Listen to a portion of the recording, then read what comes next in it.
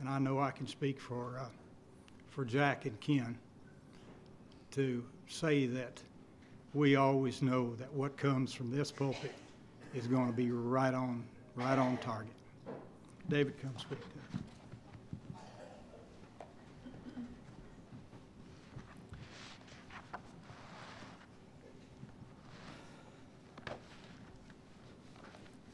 Let me say a word about the man and brother who led us in prayer tonight, Brother Alan Lawson. He and his wife Lily are with us. It's been a long time since Alan and I first met. When we moved in August of 1977 to work with the Eastside Church of Christ, Muskogee, his parents and my sister were there. It was long before we met him. And uh, for a church south of Muskogee, Porum, Oklahoma, and that's quite a time to preach. I've never known him to be anything but straight down the line. I heard years ago Brother Guy Woods say at that time, which was quite a while ago, that among the churches of Oklahoma, he had found that his work as a gospel preacher working throughout that area for years, so many brethren at that stage who were so faithful and determined to be what the Bible says they ought to be. Well, I don't know that that can be said about any group of brethren in a statewide situation anywhere today, but there are still people who love the Lord. There are still people who will serve Him no matter what it costs them to be obedient to His will, to preach it, and to defend it. And Brother Alan has been one of those people, and I'm grateful that he's here, and it's great to see him. We welcome all of you here.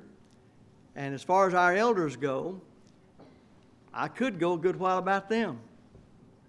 Any one of them can stand in this pulpit and do as well as a great many preachers can do, and a whole lot better than some. And brother, when Brother Roth said a moment ago when we were getting started, if uh, we could get certain elders and certain preachers to sit down, we could get going. Well, I thought about that. You know, that's true. Throughout the brotherhood, you get certain elders and preachers to sit down. We get going. But on the other hand, if you get certain elders and preachers to stand up, we could get going. It's just a matter of who ought to stand, who ought to sit. And we're interested in those who are faithful in all things. And I believe this is the case with the eldership of the Spring Congregation. Uh, we, I've seen them operate, and when it comes to the obligatory matters of truth, they have not been moved from it. We love them for their work's sake for the opportunity to work with them and to have a church. The brethren at Spring, after all these years that make up the Spring congregation, are here because they choose to be. And that says a whole lot concerning the stand that we've taken over the years, but we're thankful for everybody. I remember back in the 1960s when I was somewhat younger than I am now, when I looked a little more like Alan saw me when I first met. Alan hadn't changed much. I think I've changed all the more than Alan. But when I was a much uh, younger preacher, Billy Graham was as popular then as he ever was. And there was a big to do in the United States in the summer of whatever year it was, in the 60s, his late 60s, where they had this big push going on. You know, he was all for crusades, as they called them in those days. And I never will forget, the motto was one finger like this Jesus, yes. Guess what the rest of it was? The church? No. Now, why would anybody make such a statement as that? Purporting to be a friend of God and His good word, and that Jesus Christ is His Lord and King and Savior. Knowing what the Bible has to say about the church. Well, the truth of the matter is, that is the typical sectarian denominational perspective and view of the church. This book, for the most part, among those that claim God as their Father, Jesus as their Savior and King, and claim to be His servants, is basically something that just makes them feel pretty good. It's almost like some sort of icon. If they can have it around them, if it can be in their house, and if they can read certain passages in it, then they're all right. Everything's fine with them and their God. I'm sorry to say that It's like that in many members of the church nowadays, when it used to be basically those outside the church who were of the denominational persuasion. And that's because we've apostatized in our understanding of the pure doctrine of Christ on the church of Christ. I ask all here this evening and those who will hear this sermon anywhere to take heed what they hear, as Jesus said in Matthew 4 and verse 24. And you ought to do it all the time concerning spiritual matters. Be sure it's God's word, rightly dividing, that you're hearing. Then Jesus also said in Luke 8 and verse 18, Take heed how you hear it. Take heed what you hear, take heed how you hear it. Now, I hope you'll keep that in mind throughout all these sermons, these lectures, and any others that you may ever hear. Take heed what you hear, and take heed how you hear it. Are you hearing this as the Word of God that you need? And do you have your Bible open, reading it, and studying along with us as we go into this study of the New Testament church? There's a reason that we put New Testament in front of church to be the topic of discussion at this time. And that reason is simply to set it apart from all those churches founded and sustained upon the commandments and doctrines of men. If you believe in God and the Christ and the Bible, then you must accept what the Bible says on salvation and you must accept what it says about the church. There's no way to glorify the Christ and not glorify everything pertaining to what He did in order to save us and what's connected with our salvation from our sins. When you look in His earthly ministry, Matthew chapter 16, you'll find in verse 13, and Jesus came into the coast of Caesarea Philippi. When he did that, he asked his disciples, saying, Who do men say that I, the Son of Man, am? And they say, I always say the some says come out when you ask people about things. Some say. Some say thou art John the Baptist, some Elias, and others Jeremiah, or one of the prophets. He saith unto them, But whom say ye that I am? And Simon Peter answered and said, Thou art the Christ the Son of the living God. And Jesus answered and said unto him, Blessed art thou, Simon Barjona, for flesh and blood hath not revealed it unto thee, but my Father which is in heaven. And I say also unto thee that thou art Peter. And upon this rock I'll build my church, and the gates of hell or Hades shall not prevail against it He continues on, saying to Peter, And I will give unto thee the keys of the kingdom of heaven. And whatsoever thou shalt bind on earth shall be bound in heaven, and whatsoever thou shalt loose on earth shall be loosed in heaven. Now, I'd like to start from the last verse and work back up through it. Whatsoever thou shalt bind on earth shall be bound in heaven, and whatsoever thou shalt loose on earth shall be loosed in heaven.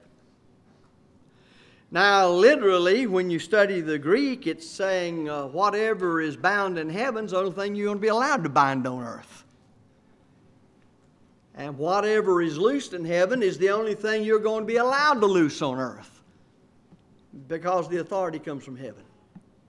Now, if you want to know what translations that's from, just mark it down DPB 38 or 238 or 538 or whatever. That's just a loose, but I promise you, it is a true translation of what Jesus is saying. Now, I say that because Peter, people will go, as we go up verse 18, they'll look at Peter, and of course, the Catholic Church says the church was built on Peter. And we've long pointed out that uh, Peter came from a Greek masculine uh, word, petros, that means a pebble or a stone. And yet, uh, when you look at the rock that he said he would build his church on, that's from Petra, and it means a great foundation stone. one that could support a building. In effect, what he's saying is, Peter, though you are but a pebble, I will build my church upon a solid foundation. And what is it? Well, we move back up. And we see that Jesus pronounced a blessing because the Father revealed something to Peter. Now, what was it? The confession that thou art the Christ, the anointed one. Thou art the Christ, the Son of the living God. So, the foundation upon which the church is built, that Jesus promised to build, that foundation is Jesus Himself. That's what Peter confessed, and that's what Jesus Himself said the church would be built upon, not upon Peter. Well, as you go back earlier in these verses, you'll see that when you turn to men to get the answers, as I said earlier, the some says come out. You ask people, what do you think about this? You're allowed to hear anything. Sometimes people will ask us in the church, uh, what does the church of Christ believe about this? My answer is anything and everything. You've asked the wrong question. The question is, what does the Bible teach about it? Now you say, well, why would you say members of the church would uh, say about anything as answer to a question. Because people, number one, are at different degrees of knowledge. Others are simply unfaithful. And whatever you way you want to call it, uh, Paul must have had that in mind. Some are just ignorant when he said, I would not have you ignorant, brethren. Well, we're all ignorant of some things, but listen. Concerning matters of salvation, God does not expect us to be ignorant, and we can be thoroughly enlightened to learn how to go to heaven and to know the way and to know that we believe the right thing and that we've done the right thing. If not, you tell me why you study the Bible and why you're here this evening or anything else pertaining to the church or your activity in it. Jesus said in John 8 31 and 32 that if you continue in His word, then are you His disciples indeed, and ye shall know the truth, and the truth shall make you free. Well, he told a lie or he told the truth, didn't he? Jesus also said, Father, sanctify them through thy truth. Thy word is truth. John 17, 17. And he said in John 12, verse 28, that the word would be the standard of judgment on the last great day. Now, God being a thoroughly just God, as fair as fair can ever be fair, for he's the standard of fairness, then he's not going to tell you that the word is something that will judge you and then say, but they really can't understand it anyway. Uh, I wouldn't serve God like that. Nobody else should. But that's not the God revealing himself in the Bible, and he's not the Father of our Lord Jesus Christ. And if you're a Christian, he's not your Heavenly Father. We're reading about our Heavenly Father and his Son Jesus Christ and the church that he built. So if we go to men to find out anything, we won't find out the same thing Thus, the New Testament church. What does that mean? I'm going to the New Testament. And I'm going to learn about the church that Jesus built in the primary source the infallible, the inerrant, the all sufficient, the final and complete revelation of God to man, the Bible in general, and the New Testament in particular.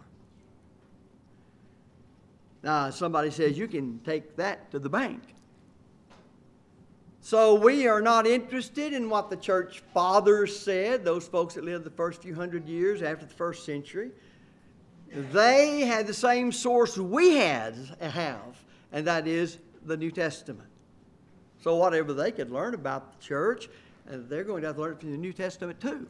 Obviously, they didn't, and many people were not following the teaching of the New Testament even in the first century. Paul even refers to how the mystery of iniquity now worketh in departing from the faith. He warns Timothy that some would depart from the faith, the system of faith that really is the New Testament. What he in reality is saying is some will depart from the New Testament.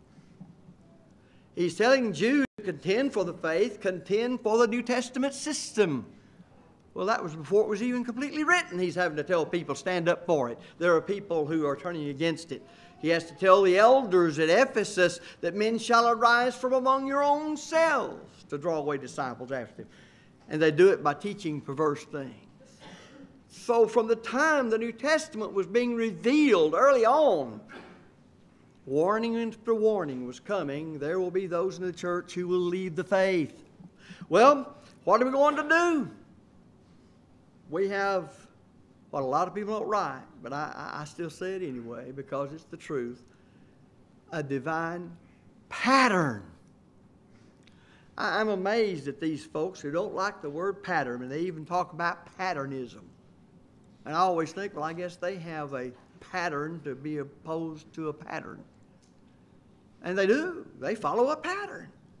All you're saying when you follow a pattern or a blueprint is that we have that which teaches us how to do.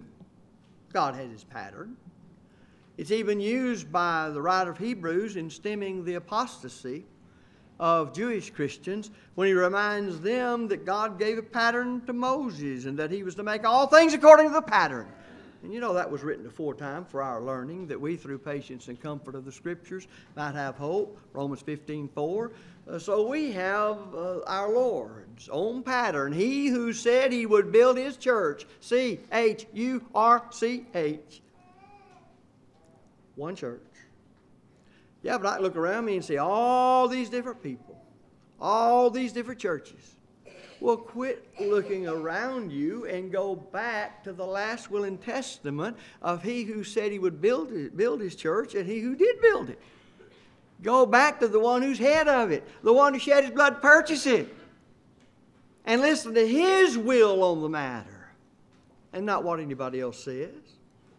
I can tell you one thing that the devil being against uh, mankind as strongly as anybody could ever be against them and wanting everybody to be lost and working to that end day in and day out all day long and all night long, don't you think he would want to corrupt the teaching of the New Testament concerning the church that Jesus built? Don't you think he would aim at it from every direction and try to destroy every identifying mark of the New Testament church. Now, when we look at the word church, let's try to understand as simply as we can what it is by defining it. The church is a body of those who have believed in Christ, believed him to be the Son of God, which belief or faith came from the New Testament, Romans 10 17. These believers, in taking all the Bible said in becoming a Christian, repented of their sins. They did, as it were, a complete about face from a practice, habitual life of sin and simply living for themselves and the flesh to the will of Christ, to follow it even to the point of dying for the Lord rather than to stop being faithful to Him according to the New Testament. These then confess their faith before men that Christ is the Son of God.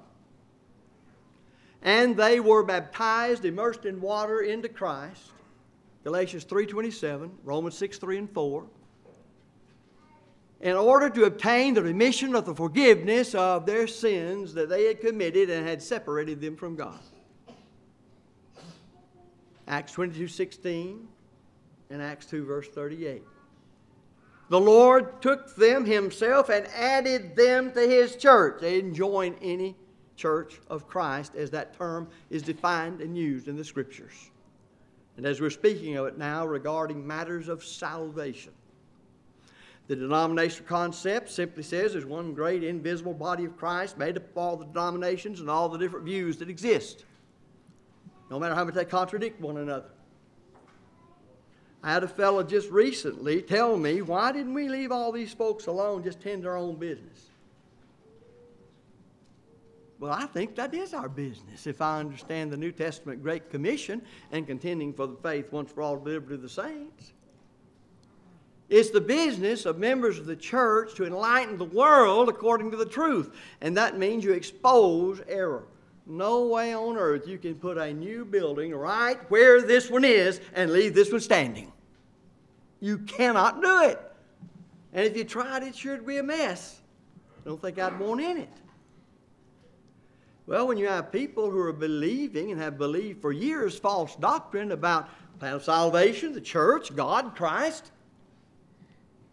they have got to give that stuff up. Now, if they're honest, they won't give it up until they learn that it's error, it's contrary to the truth, and that's going to send me to torment. Now, the churches of Christ over the years have ceased, in general, from preaching that way because we bought into this idea that people just won't listen to that. You're, you're coming across as haughty and mean and hateful and unloving. Well, I'm sorry. You just told me I was wrong. Did that make you unloving and harsh and mean and hateful? Seems to work for you all right in exposing me. I remember your brother G.K. Wallace say one time, said the liberal modernist says you can't take the Bible and get after anybody with it. He said, but they don't mind taking it and trying to get after me with it. And that's exactly the inconsistency of people today. It's real. I told a fellow on the phone one time, he was saying, You shouldn't do that, the kind of thing I just described. I said, You do it. Well, he was offended. Oh, he was highly offended. I said, uh, Why did you call me today? You have something to tell me? And you, literally, you begin to hear stuttering on the other end of the phone. Finally dawns on him, I called you to tell you you were wrong. And what you're wrong about is telling other people they're wrong. But it's all right for me to tell you you're wrong. It's just not all right for you to tell me that I'm wrong. Well, if there was hypocrisy, that's it. That's all there is to it. It's strange to me that people will say, well, we are just all be for God. Okay, what God? Which God going to be for? Allah or Jehovah God Almighty? And I tell you, they're not the same, though they are said to be the same by certain people. So it's a matter of truth, brethren. Truth. Truth of God's Word. Church is a body of penitent, baptized believers who've confessed their faith in Christ before their baptism. They've been called out of the world by the gospel of Christ, the power of God that uh, saves men when they obey the gospel. Christ reigns over this church. He's the head of this church. And it is led, guided, and directed by the Holy Spirit through the word of truth, the sword of the Spirit, which is the word of God. Ephesians 6 17. And this is the significance of that word church as the Lord used it in Matthew 16 18 when he said, I will build my church. And thus, when that term is used in that way, it includes all the Lord's faithful followers on the earth. But in rightly dividing the word of truth, we must look at the way the church is used wherever it's used in the New Testament. And we find that the word church is also used to designate congregations of faithful believers from whatever geographical point, even when it doesn't name the specific, uh, specific place, such as the churches of Christ salute you, Romans 16 16. Or specifically the church in Rome, the church in Jerusalem, the church in Antioch, or the church in Spring. We need to understand it's that simple. It also designates an assembly of Christians, such as this one, convened for religious purposes. If you turn over, read 1 Corinthians 11, where he's talking about the abuse of the Lord's Supper and correcting the Corinthians in their abuses, and he talks about what they did when they came together in one place. You can't get the worldwide universal church together in one place every Sunday. But the largest and smallest organized entity of the one church in which are all the saved that Jesus saves and nobody else. The largest and small, smallest organized entity is the church in a geographic location like this congregation. And by the way, the word congregation means the same thing as the word church. So we have elders and deacons when the church is fully organized according to the teaching of the New Testament. They have qualifications to meet, they have work to do. The elders, the pastors, the presbyters, the bishops, they are the overseers, they are the superintendents. They are to see that what God obligates the church to do is done the quickest and best way possible. And to guard then the truth in that church.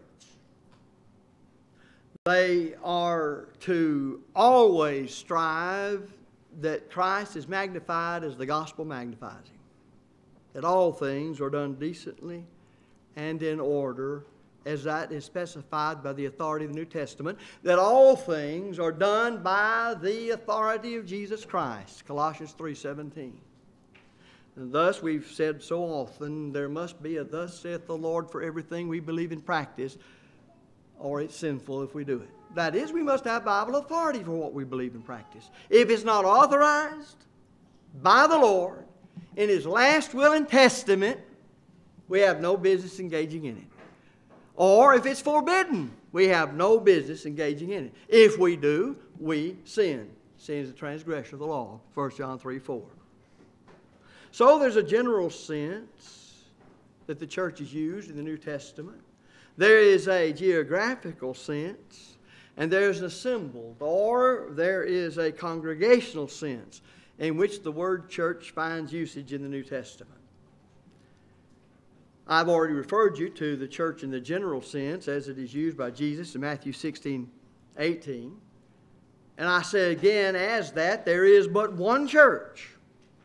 As there is but one body of Christ, as Paul teaches in God's great platform for unity, set out in Ephesians 4, verses 4 through 6. One church, one body, one kingdom. There are as many churches acceptable to the Father in heaven as there are lords acceptable to the Father in heaven. And that's just the truth of it. All congregations, these in different geographic locations, as we described it earlier, are of the same faith and practice. Thus, they constitute the one worldwide body of Christ the church in its general sense. I say again that the denominational concept of the invisible church is wholly unknown in the New Testament. Christ purchased the church with his own blood, Acts 20 and verse 28, Ephesians 5 and verse 25. Now think about that for a minute. It's not difficult. Jesus purchased his church with his own blood. Is there a purchase price for the Lord's church? There is. Now, what is it? It's the blood of Jesus Christ. What does that tell us about the value or worth of the church? It's worth the purchase price. When people rise up and say, Jesus, yes, the church, no, or that you're saved by personal relation with Jesus and you pick out whichever one of these churches suits you the best and you get in it because the church really has no bearing on your salvation. They don't know what the Bible teaches for whatever reason. They don't know it. We have to understand that you're belittling and making light of and blaspheming the blood of Christ when you say the church that He built is insignificant because it was the blood of Christ that purchased it, and the thing is worth the purchase price. Christ thought so. Who wants to argue with him while calling him King, Lord, Master, and Savior? His last will and testament teaches us that. Will we be taught, is what it comes down to. So to assert that the church is non essential is, in effect, to say that Christ's blood was shed unnecessarily. If it is possible to be saved without the church, and the church was purchased by the blood of Christ, then it's possible literally to be saved without the blood of Christ. Indeed, without him being a Christian. And yet these folks will say, oh, we ought to be Christians, whatever the concept of it is. And Christ is our Savior, and how grateful we are that He shed His blood to purchase us. But He purchased the church. But you say the church is not essential. Well, I would say any church built upon the commandments and doctrines of men and propagated thereby, yeah, it's not essential. In fact, it's wrong, and if you're part of it, you'll be condemned with it. Now you say, well, that's awful bold. No, the Bible's bold, brethren. You mark this down. The more ignorant we get of the truth of the Bible, and the further removed the church is from days gone by when it was common practice for the elders and the deacons and the members who were truly faithful, and certainly the preachers, to speak plainly as I'm speaking now. They have not heard it so long that even the truth sounds harsh and mean and hateful. I'll tell you what, the truth sounds terrible when it condemns you. It always has. It always will. The truth will sound terrible to the criminal. When that judge sentences the convicted criminal, I'm sure he's just so happy to hear that sentence. It just warms the cockles of his heart. And if it's when they had the electric chair, they'd be a lot more warm than that when the sentence was carried out. And when he entered into torment, there's no description of the terrible ordeal of the lost people there. And yet people will hear the truth and they don't like it because it condemns them. How does it condemn them? They're believing something contrary to it, and they now learned it, and now they got to make a choice.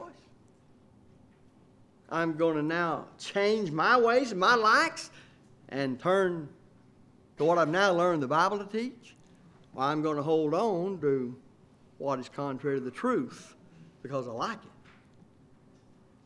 The head of the church, I've already mentioned, is nobody but Jesus Christ. Anybody says they're a member of the church and they're saying that the blood of Christ didn't purchase it or the church is non essential, all of that, you know that they can't be faithful to the Lord in those things. The same is true of the head of the church. The Lord church has only one head, and that head is Christ. Ephesians 1 22 and 23. Paul wrote, and hath put all things under his feet and gave him to be head over all things to the church, which is his body. In Matthew 28 18 and 20, the Lord said, All power authority hath been given unto me. Well, that's mighty proud of you to declare that to us. Listen, somebody must have all authority. And that has to be God. I listened last night, I was telling Ken about to a debate uh, on atheism over in the University of Birmingham, England. And I said to you in a sermon here not long ago that everybody that says God does not exist, and I'm here to tell you that, every one of those fellows want to be God. Now, if you asked them, Do you want to be God? they'd laugh. But it wasn't long into this to where he was saying, I just don't see why God won't do it that way. It seems like to me you ought to do it this way. That's always been the problem. Folks, that, that's exactly why the devil's the devil. He never did like it because God was God. And he flew right in God's face. And how can you identify then a child of the devil? It's not going to take him long to fly into the face of God. Well, he literally can't get to the face of God, but he sure can give his word fits. And so he attacks what he can get to. And if you believe it and live it and preach it, He's going to get you. That's just the way life is. Folks, it's wickedness of the most rebellious nature for human conferences and synods and conventions of men to attempt to exercise powers and privileges which belong to God and the Christ, since He has all authority alone.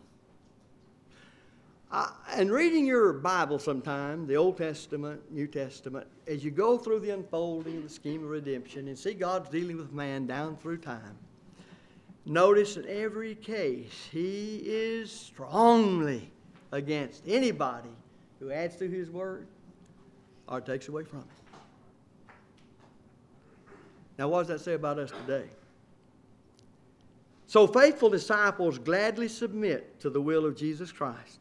Jesus said, Matthew 7 21, Not everyone that saith unto me, Lord, Lord, shall enter into the kingdom of heaven, but he that doeth the will of my Father which is in heaven.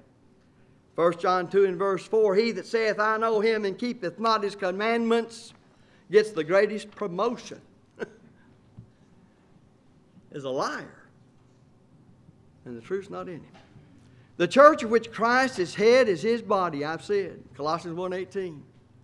He's the head of the body, the church, who's the beginning, the firstborn from the dead, that in all things he might have the preeminence.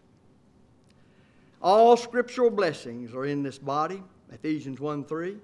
And we've already seen there is but one such body, wherein all those spiritual blessings are, Ephesians 4 5 and 6. I want to conclude with these terms. I've always said that if you want to know a lot about the church that you read of the New Testament, the Lord's church, the church of Christ, you ought to notice the various terms the Holy Spirit used to tell us about and teach us about Christ. The scriptures refer to the church by referring to it as the house of God, Hebrews 3 6.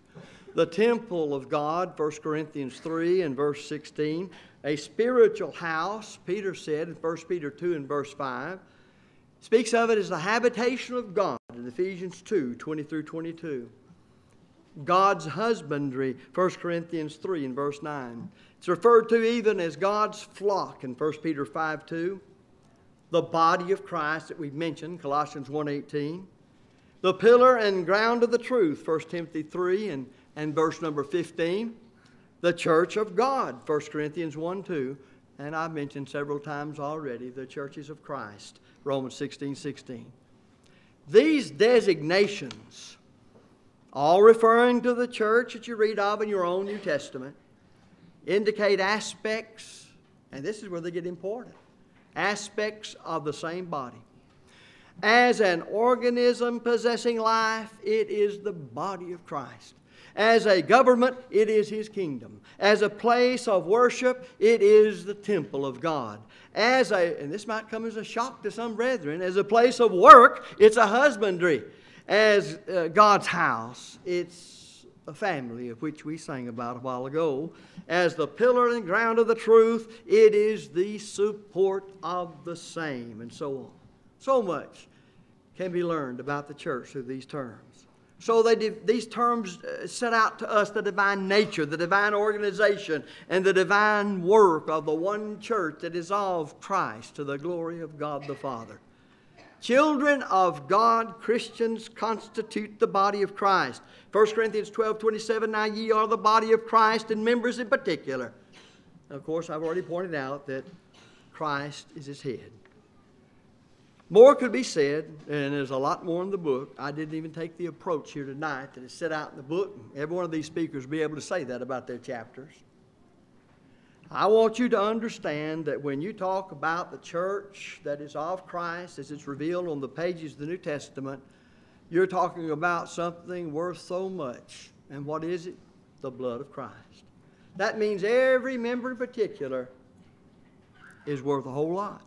When we were baptized into the death of Christ to become Christians, we were baptized into his death. It was in his death where he shed his blood. And if you want the blood of Christ applied to you so your sins will be remitted, then you must comply with the terms in God's plan of salvation. It's that simple. Someday, and it can't be long for some of us, maybe a little longer for others, but in the way time goes by, it's very close. There shall loom before us not what's going on in Washington and who's going to be president, but a vast eternity unending and how we live here determines where we shall be there. Because when we get into eternity, that's it. We're going to always be wherever we go in eternity. There's no looking for any other place. Those who die in rebellion to God must forever and ever toss and turn in the great fires of torment because they were rebellious and they would not hear, believe, and obey the gospel. Depart from me, ye that work iniquity, into everlasting fires prepared for the devil and his angels. But Jesus yet says, while the sun still shines, while time goes on, come unto me, all ye that labor and are heavy laden, and I'll give you rest. Take my yoke upon you and learn of me, for I'm meek and lowly in heart, and ye shall find rest in your souls. You'll be a member of the church when you obey the gospel, the church that Jesus built. Heaven someday will be your home on the basis of your steadfast adherence to the truth. 1 Corinthians 15 58. Thank you for your kind attention.